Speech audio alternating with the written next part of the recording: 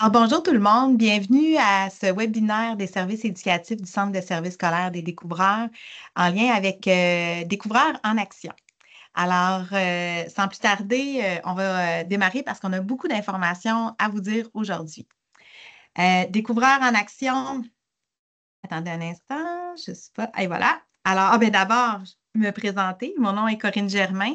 Je suis conseillère pédagogique au Centre de services scolaires des découvreurs depuis 13 ans maintenant, euh, ainsi que responsable local pour le défi Ose entreprendre. Euh, je coordonne Découvreurs en action et je suis membre du comité régional euh, du défi Ose entreprendre pour la capitale nationale. Les objectifs de la rencontre d'aujourd'hui, présentation des découvreurs en action, des leaders pédagogiques et des partenaires financement pour soutenir vos projets. Donc, c'est probablement ce qui vous amène aujourd'hui. Vous voulez avoir des sous pour euh, vous soutenir dans la réalisation de vos projets. Alors, on a les nouvelles modalités de financement en lien avec la mesure sur l'esprit d'entreprendre du ministère de l'Éducation. Il y a aussi une mesure pour les projets jeunesse en changement climatique. Euh, et aussi, nous allons démystifier qu'est-ce que c'est l'entrepreneuriat scolaire et ce que c'est un projet admissible au défi aux entreprendre. D'abord, euh, Découvreurs en action, c'est une communauté entrepreneuriale aux découvreurs. On est là pour euh, faciliter, euh, vous aider à comprendre les mesures et proposer des opportunités de financement en lien avec les différents concours qui s'offrent à vous. On est une approche écosystémique grâce à nos partenaires qui nous permettent de vous soutenir de façon efficace sur le terrain pour euh, euh, vous accompagner en tant qu'enseignant ou intervenant scolaire euh, qui accompagne des projets d'élèves. et on peut aussi accompagner, bien sûr, directement les élèves. Découvrir en action, c'est aussi un site web où on y trouve vraiment plusieurs ressources, euh, des boîtes, une boîte à outils avec euh, plein de, matériel didactique, entre autres, pour vous soutenir autant en classe qu'en parascolaire. Et euh, le site web il est reconnu au niveau provincial parce que nous avons un, regroupé les ressources qui existent en entrepreneuriat scolaire en incluant tout le monde. Alors, c'est vraiment unique et c'est donc on a, comme vous pouvez voir, on a gagné plusieurs prix euh, au fil des années pour ce que nous avons. On est leader euh, au Québec euh, dans le développement de l'esprit d'entreprendre à l'école. Alors voilà pour la petite présentation. Découvrir en action, ça existe grâce à nos partenaires. Je le dis souvent, seul on va plus vite, ensemble on va plus loin. Alors, euh, merci à nos différents partenaires qui soutiennent avec des bourses à l'occasion du défi aux entreprendre, euh, qui nous soutiennent aussi en termes de services. Alors, vous allez voir aujourd'hui nos différents partenaires et les services qu'ils offrent. Et euh, je tiens à mentionner la présence de Cassandra Buis d'Option Travail, là, qui est une découvreur en action euh, très dynamique et engagée sur le terrain qui accompagne des projets notamment au secondaire. Elle pourra vous expliquer ça tout à l'heure. Merci à nos leaders pédagogiques en entrepreneuriat aussi dans les différentes écoles parce que vous aidez à faire vivre le défi aux entrepreneurs et à démystifier l'entrepreneuriat scolaire. Euh, j'ai besoin d'aide. Alors, euh, n'hésitez pas, euh, s'il y a des gens qui souhaitent devenir aussi des leaders pédagogiques, euh, qui veulent aider des collègues et expliquer ce que c'est. Il n'y a pas vraiment d'engagement ou de réunion. C'est juste que vous allez être dans les listes d'envoi et vous allez être des personnes ressources dans votre milieu, identifiées en tant que personnes ressources. Et bien sûr, une belle reconnaissance sur le site web des découvreurs en action. Maintenant, la ligne du temps des activités de découvreurs en action pour 2024-2025. D'abord, euh, vous voyez, euh, on est rempli d'activités. En début d'année scolaire, normalement, on va vouloir rencontrer les, directions d'école et euh, les gens qui sont impliqués en entrepreneuriat lors d'un comité entrepreneurial. Et puis, c'est une rencontre d'une heure, clé en main, ensemble ce que, ce c'est possible de faire dans l'école, de voir les activités de sensibilisation à l'entrepreneuriat et comment faire du rayonnement dans le milieu. Euh, on va aussi proposer de faire une, euh, une explication à l'Assemblée générale parfois. Donc, euh, il y a plusieurs possibilités. Si ça vous intéresse, vous pouvez communiquer avec moi. on fait aussi une tournée automnale, c'est-à-dire, comme je le disais, soit dans les assemblées générales ou les comités d'élèves. C'est possible qu'on aille rencontrer directement et former les élèves sur l'esprit d'entreprendre. Euh, en octobre, bien sûr, on a eu notre activité la semaine passée de réseautage et d'inspiration. On a une cinquantaine de personnes qui sont venues au centre de service après le travail, il faut le mentionner, pour euh, s'inspirer. Et donc, ce fut un succès euh, vraiment très dynamique et intéressant d'échanger et d'en apprendre sur les projets. À l'automne, nous avons aussi en novembre la semaine des entrepreneurs à l'école. Alors, c'est gratuit. Vous pouvez recevoir un entrepreneur dans votre classe ou dans le gymnase avec plusieurs élèves. Ça peut être l'ensemble des élèves d'une école ou l'ensemble des élèves d'un niveau ou dans un petit groupe classe. La date limite pour vous inscrire, c'est le 16 octobre. Vous allez retrouver là toutes les informations que je vous présente aujourd'hui sur le site de Découvreurs en Action. Alors, euh, les conférences gratuites, normalement, se passent du 11 au 22 novembre et ça peut être en lien avec un sujet que vous abordez en classe. Euh, et on peut aussi solliciter des entrepreneurs de notre côté si jamais vous avez une idée particulière d'un sujet, puis euh, vous voulez faire affaire avec un entrepreneur. C'est une belle reconnaissance aussi pour eux lors de la semaine des entrepreneurs. Euh, ensuite de ça, on s'en va en janvier. Il y a l'événement Filia d'entrepreneuriat au féminin. Donc, euh, Cassandra va vous en parler euh, plus tout à l'heure. Et puis, en fait, les inscriptions sont avant le 13 décembre et l'événement est en janvier. Et en février, nous avons le collecte info à remplir pour la mesure pour le défi Ose entreprendre en lien avec le financement. Ça aussi, je vais revenir tout à l'heure. Et il y a un concours Coopérer, c'est faire ensemble avec des bourses qu'on peut gagner de 1000 dollars. Alors, euh, ça aussi, c'est pour ça qu'on le met dans notre ligne du temps pour euh, ne rien oublier. Ensuite de ça, au mois de mars, euh, bien sûr, la date limite, c'est le 11 mars, le défi Ose entreprendre. Et je vais vous en parler aussi tout à l'heure en termes de c'est quoi un projet admissible au défi Ose entreprendre. Et euh, au mois d'avril, euh, on a euh, l'événement Futur Leader le 3 avril et la remise des prix en lien avec le défi Ose entreprendre. C'est donc notre tournée découvreur en action avec la direction générale qui va remettre les prix dans les écoles. Et en fin d'année, ben, on propose aussi de faire une rencontre pour le comité entrepreneurial s'il y en a eu un. Le défi aux entreprendre, il y a trois échelons. Il y a le niveau local, régional et national.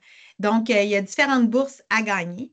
Au niveau local, euh, comme vous avez pu voir tantôt, on a différents partenaires qui contribuent euh, à vous offrir des bourses. Le lancement national et l'ouverture des inscriptions pour les candidatures aux défis aux entreprises cette année va se faire fin novembre, début décembre. La date n'est pas encore déterminée, mais restez à l'affût dans les réseaux sociaux, notamment sur le Facebook de Découvreurs en Action, qu'on vous propose d'aller liker de ce pas pour ne rien manquer de nos activités et des rappels. La date limite d'inscription pour le défi aux entreprises cette année, c'est le mardi 11 mars 2025 à 16 h. Alors, n'oubliez pas d'inscrire cette date-là à votre agenda. Des projets entrepreneuriaux, c'est des projets pour contribuer à la motivation scolaire. Ça fait partie de notre plan d'engagement vers la réussite, de motiver les élèves euh, pour leur donner le goût de venir à l'école. On a plusieurs exemples d'élèves qui disent Moi, je viens à l'école parce que je suis impliquée dans un projet. Alors, euh, c'est de nombreux témoignages que nous avons à ce sujet-là. Euh, l'entrepreneuriat aussi, c'est pour faire vivre des projets en parascolaire, bien sûr, mais aussi en classe, dans le contexte de vos compétences disciplinaires. Ça permet d'apprendre en contexte authentique pour les élèves et non pas d'être dans des projets qui sont fictifs. Alors, euh, la motivation, quand on fait le budget pour notre projet ou qu'on écrit une lettre pour une demande de financement, de ne pas faire de faute, elle va être bien plus grande quand on est impliqué euh, dans, ces décisions-là euh, avec notre classe. Maintenant, qu'est-ce qu'un projet admissible au défi aux entreprendre? Bien, les élèves créent un produit, un service ou un événement qui répond à un besoin ou une demande du milieu, amène une solution à une problématique ou améliore une situation pour un public cible. Ça doit s'étendre plus loin que les participants eux-mêmes au projet. Souvent, j'aime dire que les projets entrepreneuriaux donnent au suivant. Ils font une différence positive dans la communauté. Euh, ils nous aident à grandir en tant qu'humains parce qu'on donne aussi aux autres. On a, on a des relations avec d'autres personnes. Donc, au niveau social et communautaire, c'est vraiment extraordinaire. Le projet permet aux élèves d'être au cœur de l'action en participant activement à la prise des décisions. Par exemple, en votant. Le processus coopératif est très populaire dans les projets entrepreneuriaux où les élèves, euh, c'est démocratique, donc on prend des décisions ensemble. Et la, et la réalisation des tâches à chacune des étapes de la démarche. Donc, Contrairement à un projet pédagogique qui va être réfléchi par l'enseignant, puis les élèves deviennent exécutants des tâches d'un adulte, dans le projet entrepreneurial, les élèves vont être amenés à être au cœur de l'action, à prendre des décisions. Ils vont être sollicités à chacune des étapes. Puis les accompagnateurs de projets adultes, avec leur expérience, sont capables de dire hum, Avez-vous pensé à ça? On va-tu faire un échéancier? Qu'est-ce que ça prend dans un échéancier? Est-ce qu'on fait des sous-comités? Puis là, on les amène, on, les, on utilise ce qu'on appelle la ruse pédagogique pour faire émerger le projet de la part des élèves. La ruse pédagogique, on peut aussi appeler ça de la manifluence. Vous voyez le jeu de mots ici. Alors, euh, voilà, je vous invite à changer votre posture parfois, de, qui est très pédagogique, et nous amener vers une posture plus d'accompagnement. Le projet contribue au développement de l'esprit d'entreprendre des élèves ainsi que différentes valeurs et qualités entrepreneuriales. Par exemple, la coopération, la créativité, la débrouillardise, la persévérance. Euh, vous avez peut-être vu que euh, Entreprendre nous a fourni un livret, euh, vous avez reçu ça dans les années passées, des livrets de qualité entrepreneuriale euh, pour travailler ça avec les élèves. On en a remis la semaine passée aussi lors de notre activité réseautage et il m'en reste, si jamais il y en a qui sont intéressés, vous pouvez m'écrire. Et puis, euh, l'important dans votre candidature au défi aux entreprendre, moi, je dis toujours, mettez-le en caractère gras, les qualités entrepreneuriales qui sont développées par les élèves pour qu'on puisse bien voir euh, ce qu'ils ont développé tout au cours du projet en mettant aussi des exemples concrets qui se sont réalisés en lien avec ces qualités-là. Le projet doit être réalisé au cours de l'année scolaire 2024-2025. Et lors de la candidature qui doit être remise le 11 euh, mars à 16 heures, la majorité des étapes doit être accomplie. Ce que ça veut dire, c'est si vous faites un événement au mois de juin, c'est très possible, mais le projet doit avoir été réfléchi et plusieurs étapes réalisées avant la date limite du 11 mars pour que le projet soit admissible. Le formulaire doit être rempli et déposé, comme je disais, avant le 11 mars à 16 heures. Et bien sûr, les projets fictifs ne sont pas admissibles. La mesure 1511, euh, l'esprit d'entreprendre, a été bonifiée cette année. Alors, euh, nous avons l'opportunité d'avoir 100 dollars par élève pour un maximum de 1000 dollars par projet. C'est fantastique. Euh, ça permet donc euh, au projet d'être subventionné avec des dépenses euh, liées au développement de l'esprit d'entreprendre à l'école. Sur le site de Découvreur en Action, on a vraiment plusieurs dépenses admissibles qui vous sont expliquées. même ça peut vous, vous inspirer pour vous permettre de, de, faire des vont bonifier vos projets. La mesure aussi, elle peut être utilisée pour vous libérer, vous, en tant qu'enseignant, pour accompagner des projets. Et euh, c'est possible aussi euh, de reconnaître du temps en dehors des heures de travail avec cette mesure-là. Donc, c'est avec votre direct. Vous pouvez voir les modalités là, pour utiliser euh, l'argent de la mesure. Bien sûr, vous pouvez acheter du matériel pour votre projet. il y a possibilité, avec certaines restrictions, d'acheter des éléments technologiques. donc, tout ça va être expliqué sur le site de Découvreur en action dans les dépenses admissibles. Mais moi, je trouve ça important de dire que vous pouvez vous faire reconnaître votre temps. Parce que souvent, les enseignants, quand on s'implique dans un projet, on en met du temps. Alors, il faut euh, vraiment être reconnu pour euh, ce qu'on fait et ne pas juste faire du bénévolat. Alors, euh, cet argent-là, avec un 1000 dollars, on a assez de sous pour investir dans le projet et être reconnu dans ce qu'on fait. L'argent va être remis au printemps. Fait ça, on sait que ça peut être un irritant parce que euh, les projets démarrent à l'automne. Alors, moi, ce que je vous propose des fois, c'est de faire une entente avec la direction si c'est possible de vous avancer l'argent. Si le projet est admissible, donc si vous échangez avec euh, moi ou Cassandra ou Jessica Hood là, pour euh, notre partenaire au primaire, puis qu'on confirme l'admissibilité de votre projet, bien, ça peut euh, être un facteur, un levier pour dire à votre direction, est-ce que c'est possible de nous avancer un peu l'argent pour notre projet?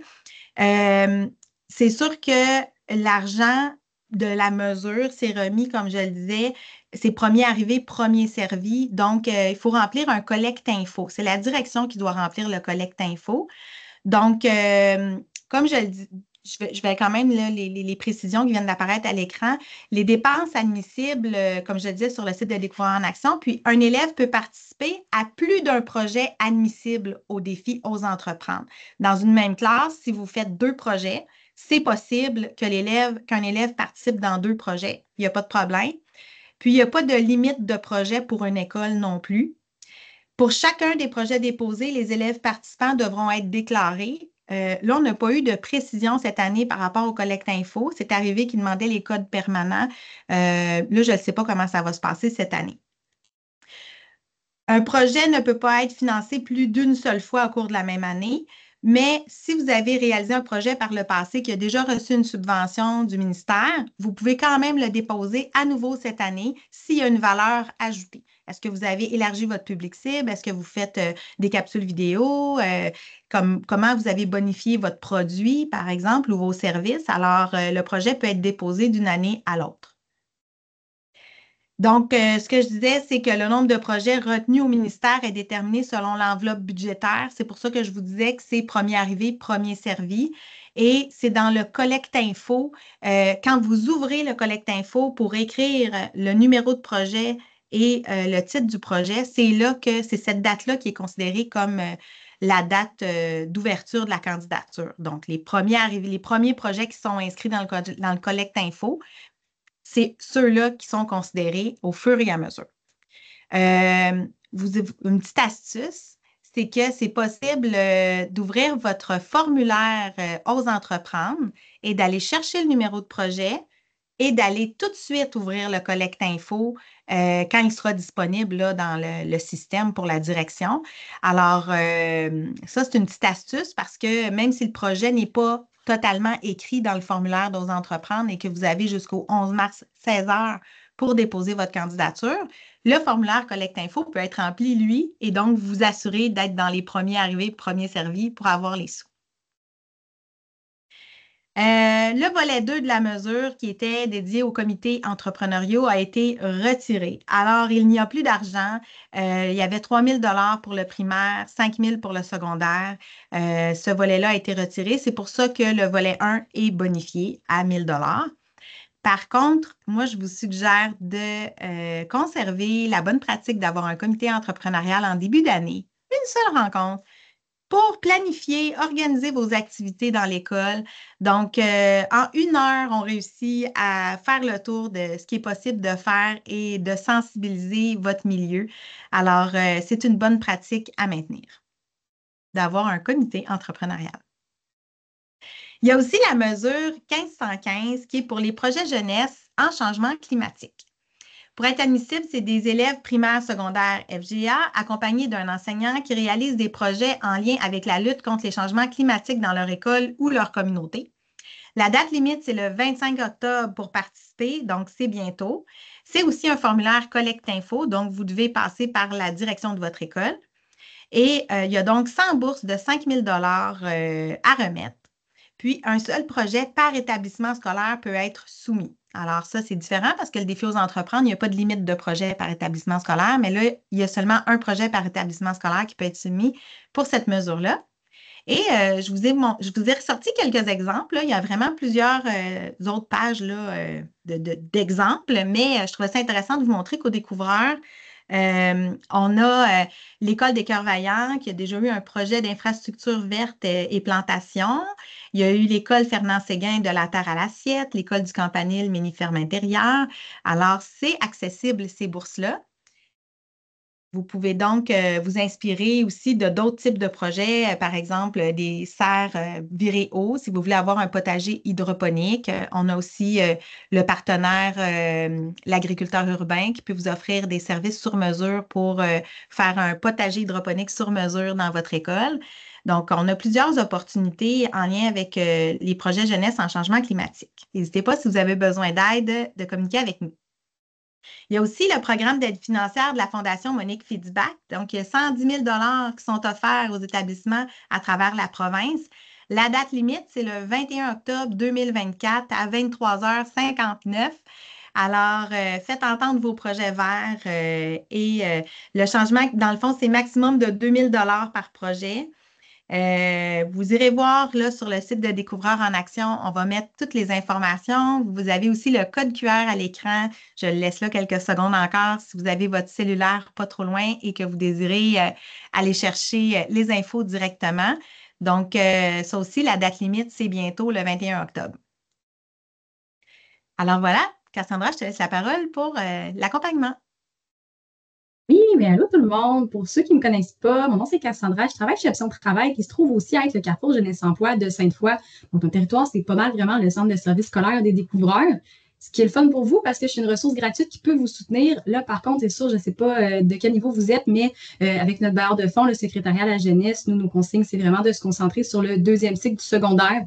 Des fois, je fais des exceptions pour le premier cycle, mais bref, gardez en tête que c'est vraiment pour le secondaire que je peux vous soutenir euh, dans vos projets. Donc, si vous avez des idées de projets à réaliser ou que vous voulez même passer du projet pédagogique au projet entrepreneurial, mais moi, ce que je vous propose, c'est qu'on puisse rencontrer, prendre le temps de parler de vos idées, voir comment on peut twister ça pour s'assurer d'être admissible à tous les concours, euh, dont le défi aux entreprendre, la mesure 15 à 11, se faire un plan de match pour l'année scolaire. Puis moi, je reste vraiment une ressource qui est là euh, tout au long de l'année. Quand vous avez des questions, vous pouvez me contacter, on peut se faire un Teams, je peux venir à l'école. Euh, donc, n'hésitez vraiment, vraiment pas à prendre contact avec moi. Je pourrais vous laisser mes coordonnées. Puis, ben, aussi en même temps, ben, défi aux entreprendre, ça fait longtemps, moi, ça fait six ans déjà et plus que je suis en poste. Donc, je connais très bien le formulaire quand même une job fastidieuse de rédiger tout ça, mais je connais bien le formulaire. Alors, on peut se prendre rendez-vous pour que je m'assoie au clavier, je pose des questions et qu'ensemble avec les élèves autant que possible, parce qu'on veut vraiment les garder au centre de l'action, mais on rédige la candidature pour aller chercher la mesure, mais aussi participer au concours. On va pouvoir changer de diapo. Je vous parle aussi de filière pour euh, ceux celles qui ne connaissent pas. C'est notre événement d'entrepreneuriat au féminin.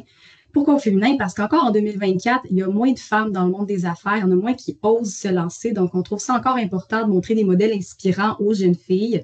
Euh, important aussi de mentionner que par terme féminin, on parle vraiment de toute personne qui se reconnaît par le sexe féminin. On est ouvert à la diversité sexuelle et de genre. Donc, Filière, ce que c'est, c'est une journée accélérateur de projets pour les jeunes filles du deuxième cycle du secondaire? Ça a lieu vendredi le 10 janvier au retour des fêtes. Euh, les filles, au lieu d'aller à l'école, vont à Filia. Donc, c'est assez vendeur déjà pour les élèves.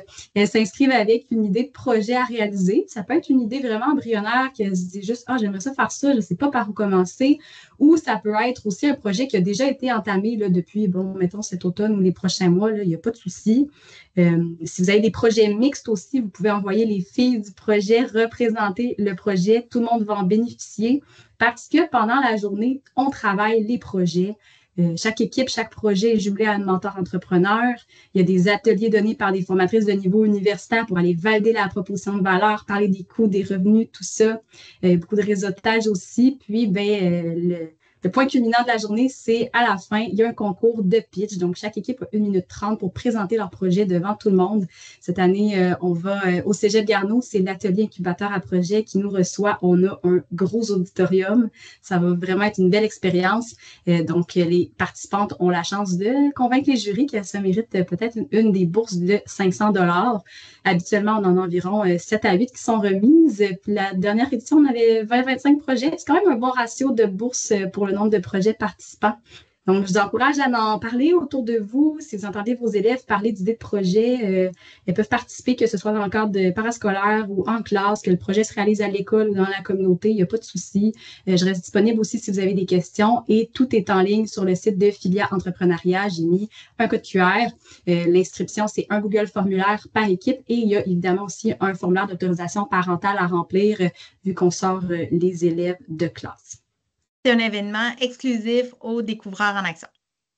Oui, avec euh, parfois il y a Québec High School aussi qui est sur notre territoire. Des fois, ils envoient des écoles, mais euh, vraiment, euh, généralement, c'est pas mal le centre de services scolaires qui participent. J'enchaîne avec l'outil que vous connaissez peut-être ou peut-être pas. Sinon, je vous le présente. C'est vraiment une, ressources en or de FSA Ulaval qui a créé la matrice du projet entrepreneurial responsable qui est basée sur euh, la matrice, une matrice que les entreprises remplissent, maintenant. Des fois, au lieu de faire un gros plan d'affaires, d'avoir tout ça sur une page en un coup d'œil. Euh, donc, c'est un outil euh, très précieux qui peut vous accompagner dans vos projets avec vos élèves. C'est un outil très clé en main euh, puisque vous avez directement les questions dans chacune des sections comme vous le voyez à l'écran. Euh, à savoir, quand on remplit la matrice, on commence par le milieu, la mission. Après ça, on passe à la section en jaune, suivi de la faisabilité ici en bleu turquoise et euh, ensuite en vert à la fin, la balance de tous les, points positifs et négatifs retombés là, du projet. Donc ça, vous aurez le lien euh, vous l'avez en formule éditable à l'ordinateur, vous pouvez l'imprimer, vous l'avez avec les questions. Euh, je dirais que c'est un outil qui est facile d'utilisation, même sans accompagnement, mais c'est aussi un outil que moi j'utilise avec mes projets. Donc, si on travaille ensemble, vous me verrez peut-être l'utiliser avec les élèves. Euh, donc, je pourrais rajouter dans le chat le lien pour accéder à toutes les différentes versions de la matrice. Il y en a même une que c'est un, journal de bord, donc c'est vraiment un outil super bien pensé. D'ailleurs, Corinne et moi, on a même pu collaborer avec FSA pour s'assurer que les questions soient vraiment bien adaptées au milieu scolaire. Donc, euh, c'est super. Merci Cassandra. Donc, euh, pour euh, votre information, la matrice est utilisée autant par des enseignants ou des gens en parascolaire et en classe, euh, c'est possible de faire travailler les élèves, comme Cassandra disait, avec le, petit livre. Et même au primaire, euh, les élèves sont capables de remplir les différentes sections de la matrice. Il y en a beaucoup, avant d'écrire une candidature au défi aux entreprises, ils aiment bien ça, faire eux-mêmes le, travail en l'écrivant sur une grande feuille, le 11 par 17, écrire euh, pour se faire une idée du projet là, vers où on va amener les élèves. Et euh, on avait remis notre, de notre événement une matrice plastifiée avec les 17 objectifs de développement durable. Si jamais vous êtes intéressé à en recevoir, ça aussi, euh, on va en faire faire d'autres. Euh, donc, vous pouvez m'envoyer un courriel et je pourrai vous, en faire acheminer parce que c'est le fun de l'avoir sous la main. Et ça, c'est la version d'école branchée là, qui est vraiment dynamique. Cassandra vous a mis le lien dans le clavardage avec les autres versions éditables sur le site de FSI Laval. Donc, euh, pourquoi les 17 objectifs de développement durable? C'est, ça fait partie de, notre plan d'engagement vers la réussite, mais en tant qu'être humain qui vivons sur une planète Terre, nous euh, sommes interpellés par différents enjeux et donc euh, de réfléchir quand on fait un projet aux impacts sociaux, aux impacts environnementaux, aux impacts économiques. on fait, on apporte une valeur ajoutée dans le milieu. Alors, pourquoi pas avoir une petite réflexion avec les élèves sur le développement durable? Maintenant, euh, FSA Laval comme partenaire, euh, nous avons la journée Futur Leader étudiant d'un jour. Nous avons euh, en collaboration, ça c'est en collaboration avec les conseillères et conseillers d'orientation qui participent également à la journée. On a cinq bourses Futur Leader de 200 dollars. On nous offre aussi des bourses lors du défi aux entreprendre. Et ça a été notre partenaire présentateur pour l'activité réseautage et inspiration Découvreurs en action. Il nous offre aussi une auto-formation sur l'esprit d'entreprendre. Alors, rapidement, euh, la journée Futur Leader cette année, c'est pour les élèves du secondaire, donc aura lieu le 3 avril 2025. C'est sous formule étudiant d'un jour. Les élèves sont super bien reçus avec des profs dynamiques. Ils vivent des ateliers, ils peuvent visiter l'université, puis ils repartent avec des outils euh, très intéressants et des rencontres aussi euh, humaines qui sont parfois déterminantes là, dans le parcours étudiant pour allumer une étincelle qui va nous dire, ah oui, c'est un parcours qui m'intéresse. Euh, puis même que pour des jeunes qui ne vont pas nécessairement étudier à la FSA, mais pour développer des qualités euh, euh, au niveau d'être intrapreneur dans la vie des citoyens engagés, c'est super intéressant. Alors, voici quelques images. On peut voir Marie-Philippe Benoît, là, une, étudiante de la polyvalente de l'Ancienne Lorette. Et puis, donc, aussi, les, les, bourses qu'ils nous offrent, on a cinq bourses de 200 dollars pour euh, les quatre écoles secondaires et le centre d'éducation des adultes pour des élèves qui sont impliqués dans leur école, qui font preuve de leadership. Euh, un exemple ici, euh, ça a été notre premier futur leader qui s'est mérité cette bourse-là en 2019 et aujourd'hui, c'est un, un, étudiant de la Faculté des sciences de l'administration qui devient euh, comptable. Alors, euh, ça a un impact, ça peut influencer les jeunes, il ne faut pas sous-estimer. Euh, on a aussi l'auto-formation pour vous qui s'adresse à vous, enseignants, intervenants scolaires, conseillers pédagogiques qui veulent en apprendre plus sur l'entrepreneuriat scolaire, la posture. Donc, c'est des cours en ligne asynchrones, c'est ouvert à tous. Euh, il y a cinq modules, puis il y a même une reconnaissance avec un badge là, sur cadre 21, donc ça entre dans les heures de formation qu'on peut se faire reconnaître. Donc, les thèmes abordés, l'esprit d'entreprendre, les compétences entrepreneuriales, la pédagogie entrepreneuriale, le projet entrepreneurial comme tel, l'écosystème d'éducation entrepreneuriale. Alors, euh, si ça vous intéresse, vous allez aussi retrouver toutes les informations sur le site de Découvreur en Action. On est en train de le mettre à jour. Donc, s'il manque des infos, si je peux me permettre, je l'ai faite l'auto-formation euh, cet été pour la tester, puis je la recommande vraiment euh, que vous commenciez dans l'entrepreneuriat ou que vous ayez déjà l'habitude de faire des projets. Euh, je pense vraiment qu'elle peut vous apporter beaucoup. Merci. Euh, JA Québec, est un nouveau partenaire, ben nouveau en fait, c'est un partenaire avec qui nous avons toujours collaboré à Découvreur en Action, mais cette année, ils ont vraiment euh, pensé en dehors de la boîte. Alors, c'est comme une offre de service euh, bonifiée pour les découvreurs. C'est avec Jessica Hood qu'on collabore. Donc, euh, c'est des programmes qui sont gratuits. Quand on parle de programmes, on parle d'ateliers. Donc, des ateliers de sensibilisation à l'entrepreneuriat que vous pouvez recevoir euh, dans votre classe pour le troisième cycle primaire. Des fois, il peut y avoir des petites exceptions, là, mais donc, l'entreprise et moi, plus fort ensemble, notre monde est à faire. Euh, les ateliers sont tous décrits sur le site de Découvreur en Action ou sur le site de GIA Québec si vous voulez avoir euh, les informations. Euh, c'est vraiment euh, super, c'est gratuit, puis ça peut se vivre aussi au service de garde lors des journées pédagogiques, en demi-journée ou en journée entière. c'est vraiment des offres qui sont ajustables selon vos besoins et votre réalité. Entrepreneur junior, c'est un programme qui vous permet d'être accompagné de A à Z dans euh, le démarrage d'un projet entrepreneurial au primaire. Donc, c'est une formule clé en main et flexible selon votre temps. Euh, encore une fois, c'est gratuit. Il y a un diaporama complet pour accompagner les élèves. Euh, step by step, étape par étape. Il y a une bénévole de GIA qui vous accompagne, avec qui vous pouvez communiquer. Euh, et il y a différents concours auxquels vous pouvez participer parce qu'eux-mêmes, ils ont plusieurs bourses. Et bien sûr, ils peuvent vous aider pour la révision de la candidature au défi aux entreprendre, comme Cassandra le fait pour le secondaire.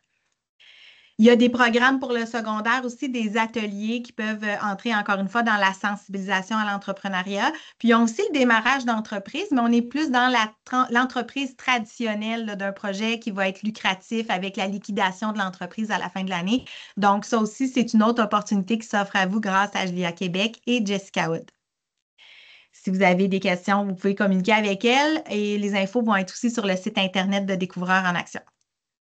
Jeune Coop est un autre partenaire euh, avec qui on collabore euh, depuis euh, la naissance de Découvreurs en Action. Donc, ils peuvent aussi accompagner, offrir des ateliers, vous expliquer c'est quoi Jeune Coop, la formule en classe, comment on fait ça? C'est-tu comme une vraie coopérative, une entreprise?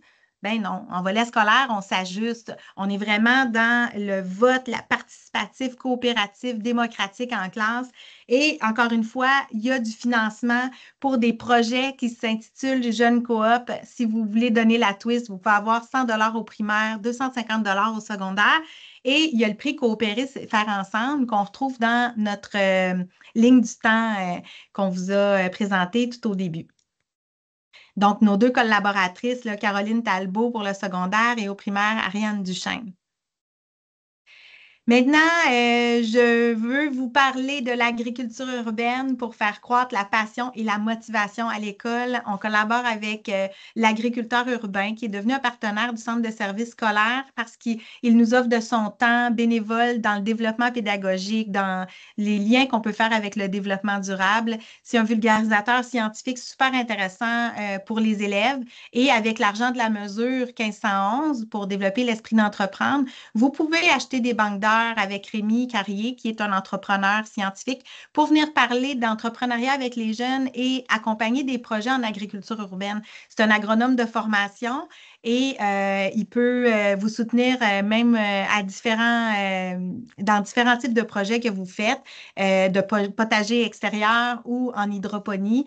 Alors, n'hésitez pas à vous informer en agriculture urbaine, bien sûr, on peut faire des liens dans toutes les disciplines. Là, je n'entrerai pas dans le détail, mais c'est vraiment intéressant.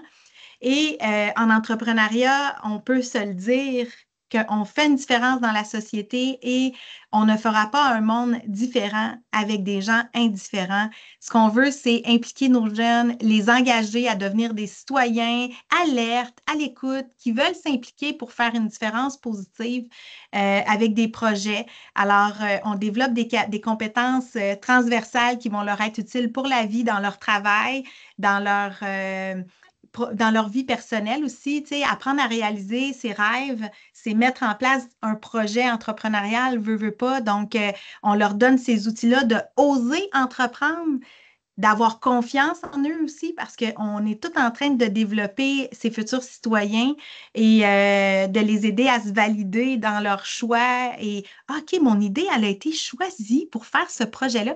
Moi, dis toujours un projet entrepreneurial, on sait où est-ce que ça commence, mais on ne sait pas où est-ce que ça finit parce que euh, les élèves, euh, quand on leur laisse la place, là, sky is the limit. Alors euh, voilà, ça termine la présentation d'aujourd'hui. Merci d'avoir été présent. Et euh, le code QR, c'est pour les personnes qui ont euh, un potager extérieur, ou qui intérieur en hydroponie, et vous voulez partager un projet de collaborer un, un projet de recherche avec FSAU Laval. sur les jardins scolaires. Donc, vous êtes invité à scanner le code QR ou à communiquer avec moi si vous voulez avoir plus d'informations pour participer à ce projet de recherche-là. Alors voilà, merci beaucoup de votre écoute et euh, au plaisir euh, d'échanger avec vous sur vos projets et d'avoir plein d'idées euh, cette année pour amener les élèves à oser entreprendre.